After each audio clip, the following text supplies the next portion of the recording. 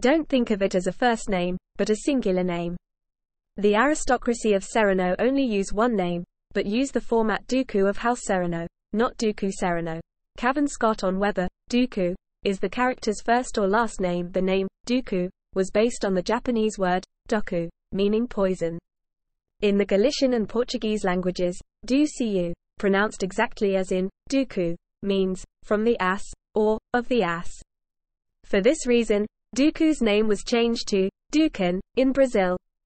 According to Cavan Scott, author of the audio drama Dooku, Jedi Lost, Dooku, in fact does not qualify as the character's first nor last name, with Dooku instead being a singular name. In developing Jedi Lost, which covered Dooku's canon backstory, Scott and his fellow creatives considered giving the Count another name but ultimately decided against it.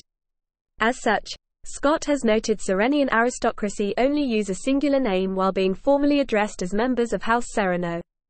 In effect, Dooku's full name is not Dooku Serenno, as some fans assumed, but the Count would answer to the formal title, Dooku of House Serenno.